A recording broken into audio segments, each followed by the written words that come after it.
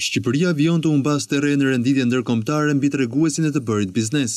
Pas rënies në konkurrueshmërinë globale, edhe raporti i fundit Doing Business i Bankës Botërore e vlerëson vendin me nëntëmbëdhjetë pozicione më ulët nga viti i kaluar, duke e radhitur të tetëdhjetë e dytën nga njëqind e nëntëdhjetë ekonomitë e botës të marra në analizë për vitin dy mijë e njëzet. Organizata ndërkombëtare thekson si arritjen më të madhe të vitit për Shqipërinë, rritjen e fizibilitetit të sistemit energjetik. Edhe pse ka bërë hapa përpara nga viti i mëparshëm, si pikat më të dobëta të të bërit biznes në vend, vijojnë të mbeten procedurat e marrjes së lejeve të ndërtimit, që zgjatin treqind e njëzet ditë ose dyfishi i standardit europian, dhe taksat vjetore që Shqipëria numëron mesatarisht tridhjetë e pesë nga katërmbëdhjetë që aplikon Europa.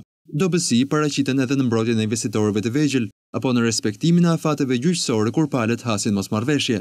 Reformat e vazhdueshme ndërkaq kanë ndihmuar që Shqipëria të vlerësohet më mirë për ecurinë e hapjes së një biznesi, tregtinë ndërkufitare, procedurat e falimentit dhe aksesin në kreditë bankare për të cilat vendi renditet i njëzet e pesti deri pesëdhjetë e treti në botë. Raporti Doing Business për vitin dy mijë e njëzet radhit Maqedoninë e Veriut në vendin e shtatëmbëdhjetë si shtetin me klimën më të mirë të biznesit në rajon, ndjekur nga Serbia, Mali i Zi, Kroacia dhe Kosova. Në rang global, lista e ekonomive më favorizuese për biznes kryesohet nga vendet aziatike si Zelanda e Re, Singapori dhe Hong Kongu.